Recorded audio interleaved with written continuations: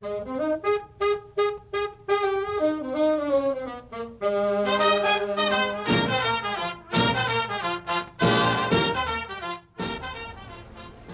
tweede weekend van maart 2007 stond hangar 2 op Schiphol-Oost geheel in het teken van een gedenkwaardig jubileum. Het was immers precies 25 jaar geleden dat de Dutch Dakota Association op 10 maart 1982 het levenslicht zag. Dat een organisatie voor de historische luchtvaart het in tijden van voor- en tegenspoed zo lang heeft volgehouden, is genoeg reden voor een jubileumfeest. Met dat feest werd teruggekeken op de roemruchte historie van de DDA, de tegenwoordige DDA Classic Airlines. Kijkt u met ons mee naar een verslag van het feest op 10 maart 2007.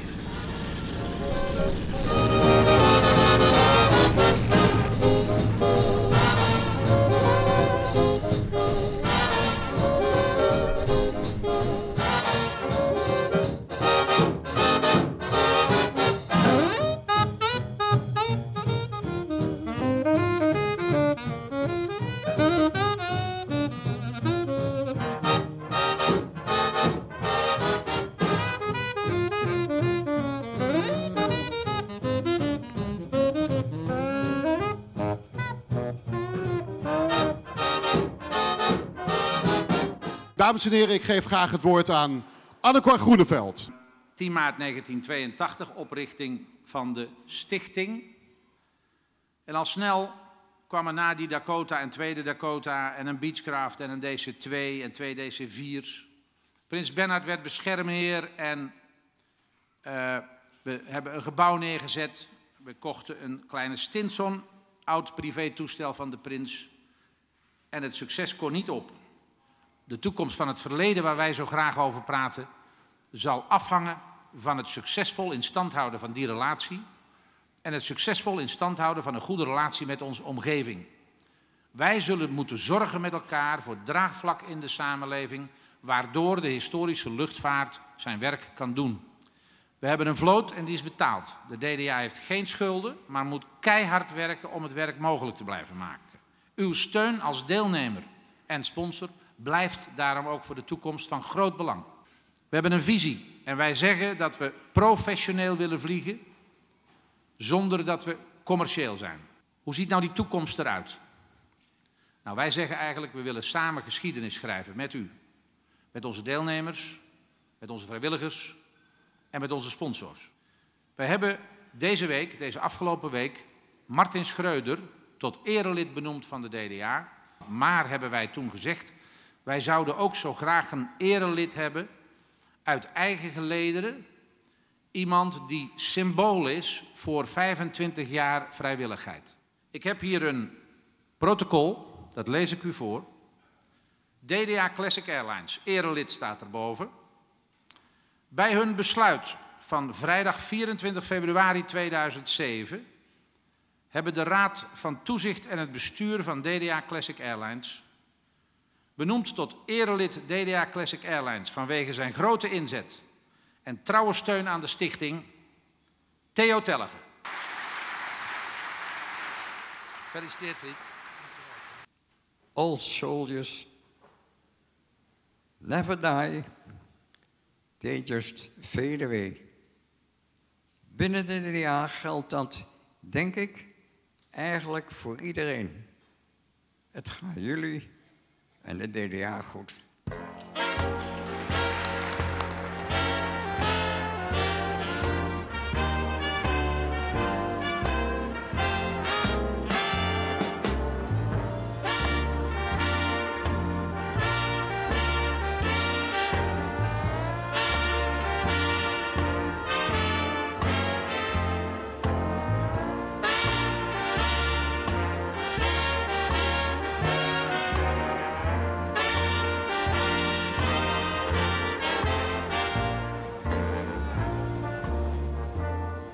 Om ons 25-jarig bestaan te vieren willen wij u nu even laten zien hoe in de afgelopen 25 jaar wij van de DDA eruit hebben gezien. De Dutch Dakota Association is op 10 maart 1982 opgericht door twee Transavia-vliegers.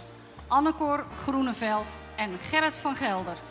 Die het plan hadden opgevat dat het gewoon eens leuk zou zijn als er weer een DC-3 Dakota in Nederland zou vliegen. En er werd er een gevonden, een prachtexemplaar in Finland van de luchtmacht. Heel goed onderhouden.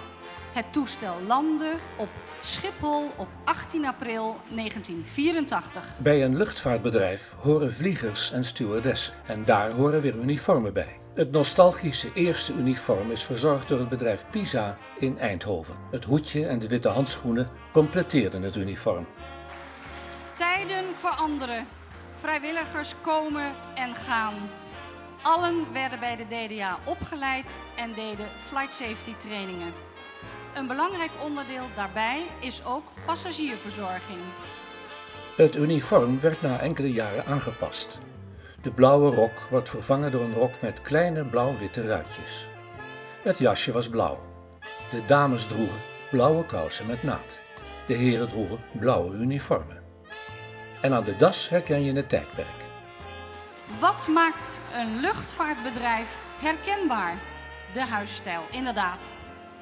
En omdat we DDA associëren met historie en nostalgie en met een knipoog kijken naar de grote nationale luchtvaartbedrijven als KLM, Martinair, is het natuurlijk gauw gedaan als je daarbij ook nog de vlag neemt, rood-wit-blauw. Het DDA-uniform kreeg een facelift. Het nieuwe rode jasje contrasteert mooi met de blauwe rok. Over de witte blouse heen wordt het blauwe gilet gedragen, waardoor het uniform nog praktischer en verzorgder is geworden. Het bedrijf Mirabel in Haarlem heeft dit uniform in overleg met de DDA ontworpen. Een nieuwe sjaal maakt het geheel tot het huidige DDA-uniform.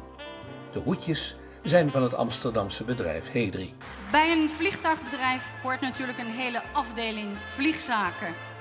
Voordat de passagier aan boord van het vliegtuig zit, moet hij worden ingecheckt door de passagemedewerkers. En daarna wordt hij over het platform begeleid naar de DC-3 Dakota of de DC-4 Skymaster. Pikant detail bij de DDA is dat de vliegers afkomstig zijn van diverse geledingen uit de luchtvaartwereld.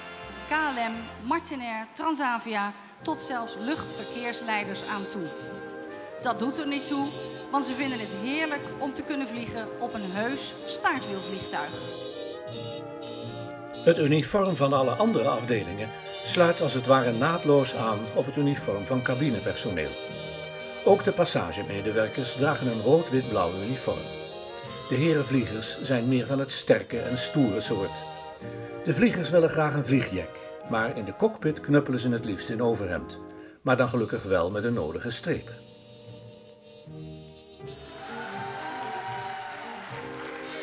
De DDA is groot geworden onder de bezielende leiding van Annecor Groeneveld. Die zelf ook vele uren heeft in zijn logboek staan op diverse historische kisten. Hij wist als geen ander mensen aan zich te binden. De eerste man die hij onvoorwaardelijk nodig had om de DDA als vliegorganisatie op te zetten en veilig en verantwoord te vliegen en een technische dienst op te richten, was ome Ben van der Schinkel. En velen volgden die een belangrijke bijdrage hebben geleverd, zoals Theo Tellege. De technische dienst was de grootste afdeling van de DDA. Technici en techneuten kent de DDA in allerlei soorten en maten, met allerlei ervaringen, bekwaamheden, in allerlei disciplines, met allerlei opleidingen. Te veel om op te noemen, maar allen met heel veel inzet voor het onderhoud van de historische vliegtuigen. In de hangar, op het platform, op buitenstations, altijd als eerste uit de veren en als laatste nog actief om de Dakota weer veilig met de trekker de hangar in te loodsen.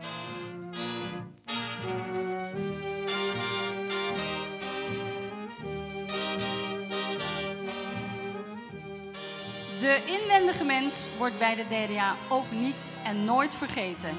Op de grond en in de lucht, altijd is het feest. Zeker als het tijd is voor een landingsdrankje.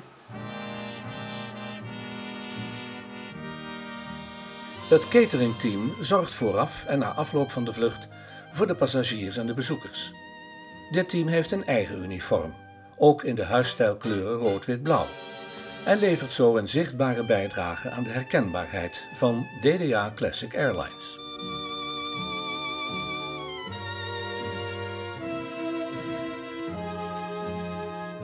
Vele evenementen getuigen van die passie, van het behoud van de historische luchtvaart. De evenementen van de eerste jaren werden opgeluisterd door stewardessen in een stijl van de jaren 30. Een Charleston jurk in de kleuren rood-blauw en blauw-wit. Grote evenementen voor de DDA waren het feest op Eindhoven van de Golden DC-3, de eerste prijs van het Concours d'Elegance, gewonnen op de Royal International Air Tattoo op Fairford in 1985, de Texel Fly-In, het slaan van de eerste paal voor DDA's eigen hangar, het wakkerkussen van de DC-3 door een roosje door wijlen zijn de koninklijke hoogheid prins Bernhard, de lustrumfeesten van de DDA, te veel om op te noemen.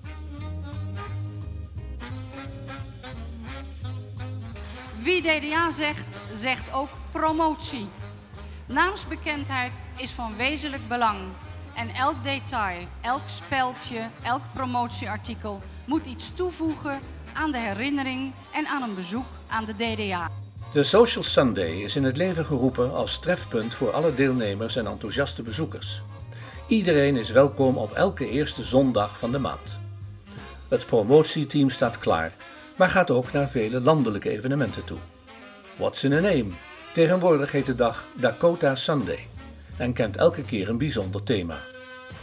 Dat thema hoeft niet direct iets met de luchtvaart te maken te hebben en richt zich op allerlei terreinen, zoals oude auto's, landbouwvoertuigen of hele andere onderwerpen. Als symbool voor de belangstelling van het bedrijfsleven voor de DDA ziet u hier de uniformen van de drie andere grote luchtvaartbedrijven. Met uw komst en belangstelling en met uw steun vieren wij vandaag het 25-jarig bestaan van DDA Classic Airlines. DDA anno 2007 is nu ook uw jaar.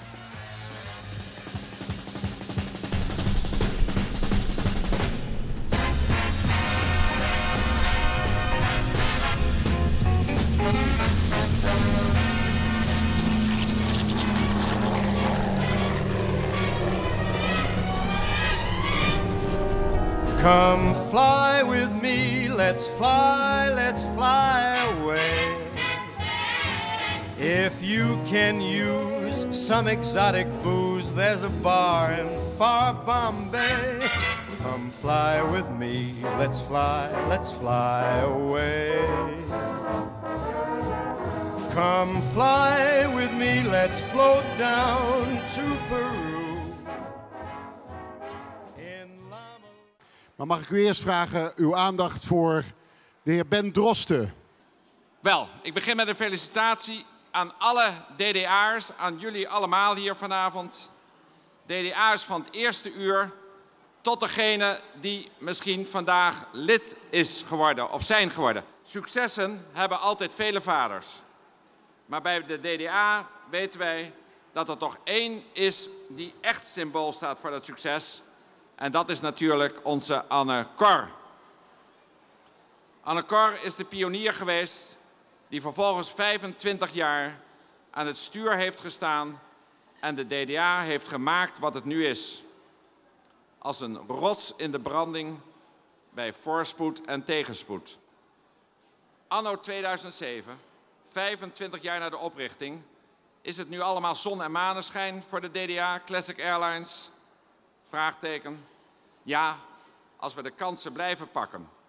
Een van die geweldige kansen is het feit dat de KLM zich steeds krachtiger profileert als beschermheer van de DDA. Er zijn buitengewoon interessante ontwikkelingen aan de gang die Anne Cor ongetwijfeld binnen niet al te lange tijd wereldkundig zal maken. Samen vliegen, samenwerken, samen leven. Dat was het parool van mijn verhaal. En dat kenmerkt de DDA. Is een dit kleinoot, dat heet Flying Together. En ja, wat kan dat anders betekenen dan de DDA-familie die gezamenlijk aan de toekomst werkt? Anneke, je mag het onthullen. Wat u hier ziet, dat zijn vliegers, dat zijn techneuten, dat zijn reserveringsmensen, dat zijn hostesses, Anne Cor natuurlijk, gezamenlijk vliegend naar de toekomst. Een prachtig kunstwerk van Willy Amelaan.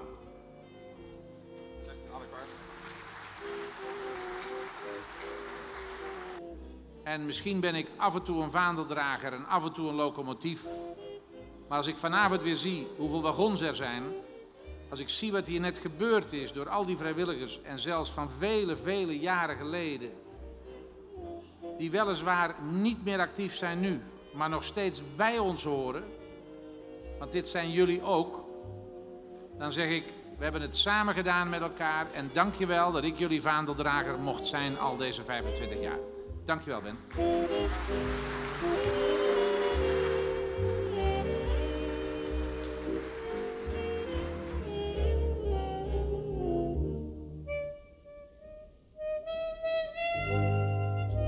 Eh, de luchtvaart heeft een geweldige historie van bijna 100 jaar. Laten we nou de belangrijkste elementen van die 100 jaar vasthouden. Laten we die koesteren en laten we aan onze jeugd laten zien hoe we hier gekomen zijn. Hoe hard er gewerkt is. Hoe bijzonder het was dat Douglas een vliegtuig ontworpen heeft. Uh, 70 jaar geleden.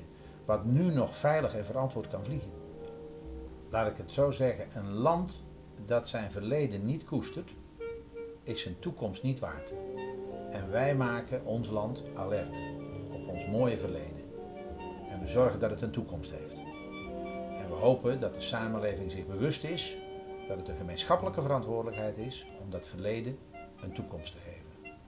En ik wil dan gelijk eens een bruggetje slaan. Als we in staat zouden zijn om de DDA samen met het Avrio Droom onder te brengen onder één dak, dan zie ik ook nog een toekomst dat we daaraan zouden kunnen koppelen een stuk educatie. Hè, waar je dus ook de jonge lui zou kunnen laten zien hoe in het verleden werd omgegaan met onderhoud en techniek. En ze dan ook te laten zien wat er een enorme e-, evolutie eh, is geweest in de loop der jaren in luchtvaart. Ik denk geen enkele vereniging kan uh, bestaan zonder vrijwilligers. Je moet commitment hebben van mensen die dat een uh, stap verder brengen, die zich geven aan, die, aan zo'n vereniging. En of dat nou een DDA is of het is een wat voor vereniging dan ook. Een vereniging zonder vrijwilligers is leeg. Ik ben van mening dat inderdaad de vrijwilligers op een bepaald ogenblik over 20, 50 jaar enzovoort allemaal absoluut noodzakelijk blijven. En zonder de vrijwilligers is het buitengewoon moeilijk. Met alle respect Verder, het kan niet alleen maar door mensen die geld insteken op een gegeven gerund worden. Het moeten enthousiaste zielen zijn die zich sterk verbonden voelen met deze historische vliegtuigen. En dat is op een bepaald ogenblik ook motiverend voor iedereen, ook voor de sponsoren.